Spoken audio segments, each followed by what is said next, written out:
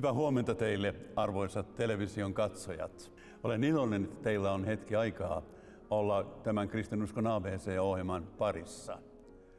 Saakoon Jumala siunata meitä jokaista ja antaa meille sellaisen hyvän hetken, jolloin opimme jotakin uutta uskostamme ja Jumalan raamatusta. Luulen, että ihan jokaisella television katsojalla teillä ei vielä ole ihan oma raamattua vaikka niitä on suhteellisen helppo nykyään kirjakaupoista hankkia. Ja vaikka teillä olisikin oma raamattu, raamattu ei aina ole helppo lukea. Se on kirjoitettu tuhansia vuosia sitten. Se kertoo sellaisesta elämän tyylistä, joka on meille pohjoiskaudalaisille ainakin tuntematon. Jopa yksin omaan, kun Raamattu puhuu kesästä, me ymmärrämme sen väärin. Meille pohjoisen asukkaille kesä merkitsee aina vuoden ihaninta aikaa. Oi miten kauniita viljapellot ovatkaan. Oi miten ihanaa on käydä kasvimaalla ja näkemässä, miten kaikki kasvavat. Mutta Israelissa kesä on vuoden vaikeinta aikaa. Jokainen israelilainen pelkää kesää. Ja mistä se johtuu? Siitä, että Israelissa on vain kaksi vuoden aikaa. Sadeaika ja kuiva-aika. Sateet tulevat joskus marraskuussa. Ja sitten niitä tulee päivittäin tai viikoittain sinne maaliskuun loppuun saakka. Siis meidän talviaikamme on Israelissa parasta vuoden aikaa. Kaikkialla on niin vihreää. Ja siellä Jeesuksen kotimaassa kaikki niityt puhkeavat mitä kauniimpiin kukkiin. Tällaisilla niityillä Jeesus vaelsi opetuslastensa kanssa. Punavuokot ovat yksi juutalaisten rakastamista kukista, ja niitä me matkailijatkin haluaisimme mielellämme kerätä, mutta niitä voi ainoastaan ottaa kuviin. Kevät muuttaa sitten kaiken. Tuulen suunta muuttuu ja Arabian niemihuolta puhaltavat kuivat, kuivat sirokkotuulet. Ja vain kahdessa viikossa kaikki nuo kauniit kukat ovat mennyttä. Seuraa kuiva aika, puoli vuotta. Ja on pakko kysyä, miten raamatun aikana pärjättiin – puoli vuotta eikä sateen pisaraakaan. No Israelissa oli totuttu tähän. Siellä maaperä on pehmyttä kalkkikiveä ja jokaiseen pihaan siihen kalkkikiveen oli hakattu syviä säiliöitä enemmän tai vähemmän veden tarpeen mukaan. Ja kallion oli hakattu myöskin uria, joita myöten sadevesi virtasi sinne säiliöön. Ja kun säiliöt olivat täynnä, saatiin olla huoletta. Tämä vesi riittää meille kyllä seuraavaan sadeaikaan saakka. Itse asiassa Jumala huomasi, että tässä juutalaisilla oli vaara. He alkoivat luottaa keräämänsä veteen enemmän kuin Jumalan apuun. Ja siksi profetta Jeremiassa on tällaiset sanat. Minun kansani on tehnyt kaksinkertaisen synnin. Minut elävän veden lähteen he ovat hyljänneet ja ovat hakaneet itselleen vesisäiliöitä, särkyviä säiliöitä, jotka eivät vettä pidä. Jumala toivoi, että vaikka nuo vesisäiliöt olivatkin täynnä, kansa edelleen uskoi Jumalaan ja eli Jumalan antamien ohjeiden mukaan. Israelissa on ainoastaan yksi järvi. Minulla on mukana vähän tällainen erikoinen kartta, jonka olen ostanut Israelista.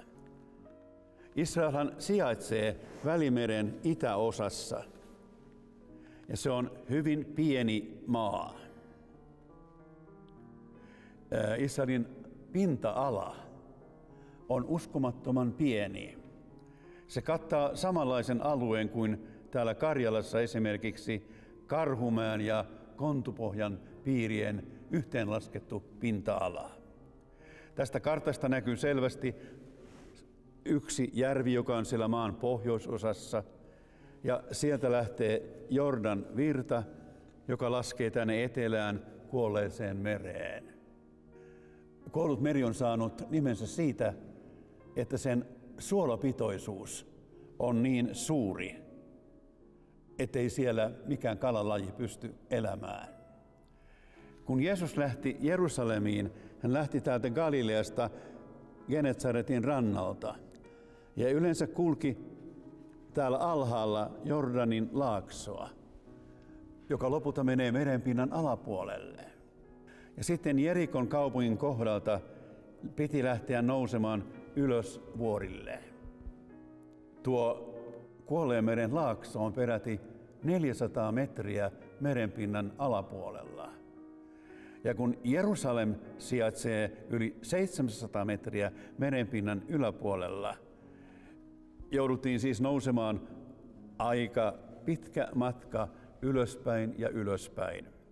Mutta tämä tulee raamatun kertomuksissa esiin aina kun sanotaan, että mennään Jerusalemiin, lisätään tuo pieni sana, me menemme ylös Jerusalemiin. Se tarkoittaa maantieteellisistä sijaintia. Jotakin juutalaisten elämäntavasta haluaisin vielä kertoa. Juutalaiset ovat aina käyneet sapattina synagogassa. He ovat olleet hyvin uskollisia Jumalan antamille ohjeille. Ja kun juutalainen isä tai poika, yleensä he menevät synagogaan yhdessä, menevät sinne, heillä on aina mukana rukousviitta. Juutalainen mies ei rukoile panematta tällaista rukousviittaa hartioilleen. Usein se ei paljon näy, koska se on takin alla. Muistatko kertomuksen, missä eräs nainen tuli pyytämään, että Jeesus parantaisi hänet? Tuo nainen oli hyvin ujo. Ei uskaltanut suoraan sanoa, Jeesus paranna minut. Mutta hän hiipi Jeesuksen lähelle ja näki, miten sieltä takin alta riippui tällainen rukousviitan tupsu. Ja Raamattu kertoo, että tuo nainen peloissaan kosketti tupsua ja parani. Edelleenkin, jos menette Israeliin, näette, miten itkumuurilla varsinkin juutalaiset pojat ja miehet ovat pukeutuneena tällaiseen rukousviittaan. Sitä siis jo Jeesus käytti. Samalla tavalla huomaisitte, että juutalaiset käyttävät eri mallisia pieniä päähineitä ja pitävät täällä takaraivolla sen. Ja sillä tavalla haluavat sanoa kaikille, että minä olen en vain juutalainen, vaan minä olen sellainen mies, joka uskoo ja luottaa, että Jumala on tuolla yläpuolella. Aika mainio tapa todistaa uskostaan.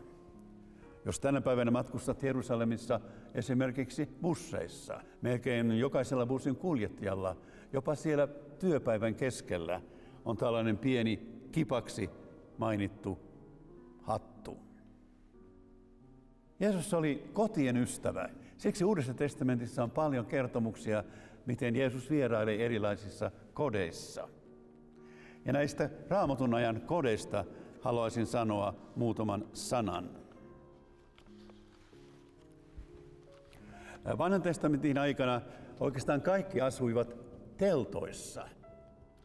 Elettiin paimentolaisaikaa. Kaupungeissa oli tietenkin kivitaloja ja kuninkaalla palatsinsa. Mutta yleensä teltassa oli tällainen yksi suuri huone, ja siellä koko perhe viihtyi. Ja siellä pihamaalla vanhemmat varmistivat ruokaa ja aterioitiin. Kun me luemme uutta testamenttia, me huomaamme, että kaikki apostolit asuivat jo kaupungeissa. Talot oli rakennettu kivistä. Tässä yksi tuollainen vanhan ajan talo, jollaisia Israelista arkeologit ovat löytäneet paljon. Ja on hyvä tietää jotakin tämän talon ö, rakenteista. Tässäkin talossa on vain yksi huone. Ja itse asiassa siellä on lattia, joka on kahdessa tasossa. Ihmiset nukkuivat siellä ylemmällä tasolla ja jotkut kotieläimet saattoivat tulla sitten siihen matalammalle tasolle viettämään yötä. Koska huoneita oli vain yksi, niin näissä taloissa käytettiin kattoa olohuoneena. Ja siksi sinne meni täältä ulkopuolelta portaat. Siellä vietettiin paljon iltapäivän hetkiä. Siellä saatettiin ruokailla. Ja nuo katot olivat tasaisia. Ja huomaatte, että siellä on hyvät reunat. Katolta ei helposti päässyt putoamaan. Kun me muistamme nämä talot, monet raamatun kertomukset alkavat elää meille aivan uudella tavalla. Varmaan muistat, kuningas Davidinkin palatsissa oli tällainen katolla oleva olohuone. Ja David siellä usein illan tultua ja ilman viihdettyä käyskenteli ja mietiskeli. Ja mitä sitten tapahtui? David katseli ympärilleen ja hän näki siellä lähellä olevan talon pihassa kauniin emännän peseytymään.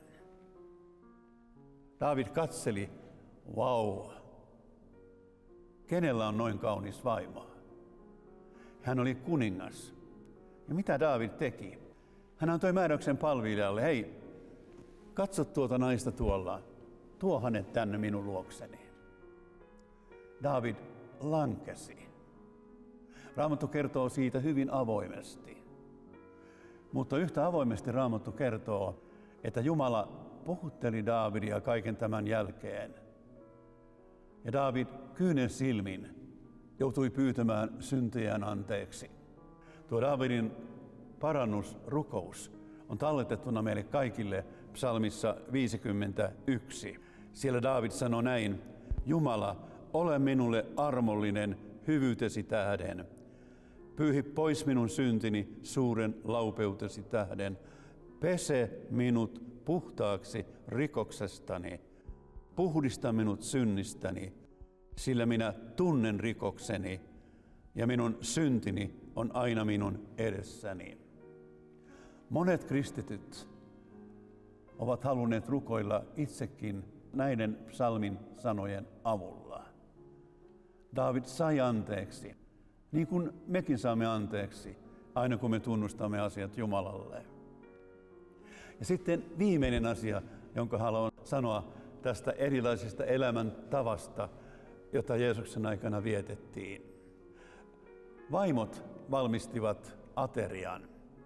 Ja se yleensä tarkoitti sitä, että äidit joutuvat heräämään muuta perhettä aikaisemmin, ottivat vähän jauhoja ja pienillä käsikivillä jauhoivat jyvät ja sitten leipoivat sellaisia litteitä leipiä. Ja kun perhe kokoontui atejalle aamulla tai illalla, sen ruokapöydän keskelle aina asetettiin leipävati. Sillä Jeesuksen aikana leipä oli aterian tärkein osa. Pöydällä saattoi olla hedelmiä ja lisäkkeitä, ja pöydällä oli pieni ruukku, jossa oli öljyä ja jotakin tahnaa, ja sitä leipää kastettiin siihen tahnaan ja syötiin. Mutta kaikki tiesivät, että leipä on se tärkein ateria. Ja kun sitten Jeesus sanoo Johanneksen evankeliumissa, minä olen elämän leipä. Kaikki ymmärsivät, mitä Jeesus tarkoitti. Jeesus ei halua olla meidän kristittyjen elämässä vain jonkinlainen välipala. Tulla silloin tällöin puhuttelemaan meille. Hän haluaa olla joka päivä elämän leipänä meidän keskellämme. Joka päivä rohkaista, joka päivä vahvistaa uskoamme ja joka päivä sanoa, lapseni, minä annan sinulle iloa. Sinun ei tarvitse pelätä mitään. Tässä pieniä vinkkejä, miten me voimme ymmärtää raamattua paremmin. Ja jos sinulla ei ole vielä oma raamattua, piipahda kauppaan ja hanki se.